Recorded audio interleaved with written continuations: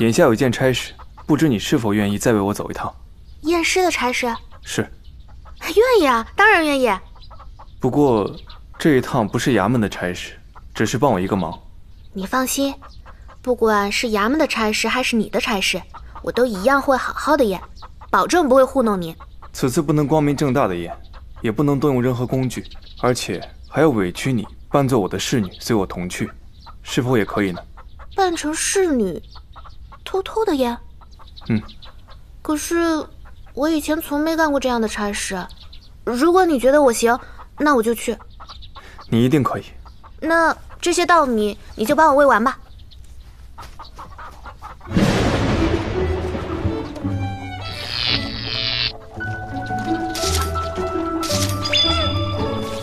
王爷，你不用怕他们，他们不咬人的。本王怎么会怕他们？只是怕弄脏了朝服。哦，王爷，我第一次穿这样的衣裳，我穿成这样还怎么干活啊？你在此稍后，我一会儿来教你。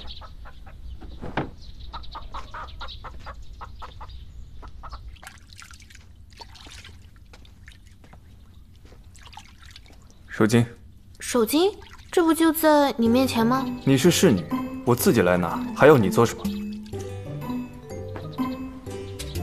双手呈给我，低头，太低了，抬起来些。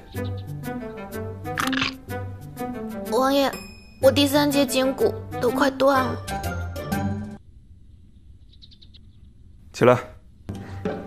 脊骨立直，将毛巾托于双手掌骨上，手肘下沉微屈，腕骨抬至与锁骨齐平，颈骨第六七节立直，自第五节至第一节向前屈，微收合骨。让你动了吗？记住这个姿势了。记住了，每块骨头在哪我都记住了。放回去。哦。要回答是。是。左右手相叠，右腿后撤，然后蹲下。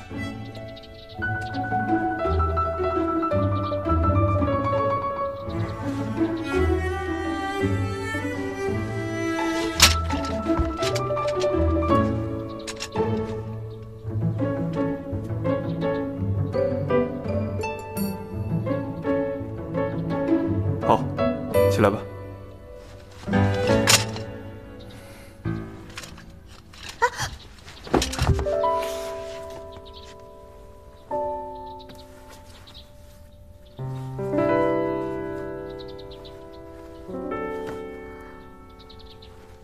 放肆！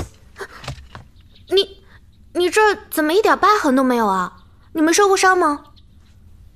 什么伤？剑伤，长约两寸余，深可见骨。伤愈后还有一道细如墨线的疤。没有。难道真的不是玉面判官吗？你说什么？啊，没什么。不过你的身上好白啊，书上说的肤如凝脂。应该就是这个样子吧。够了，跟我走。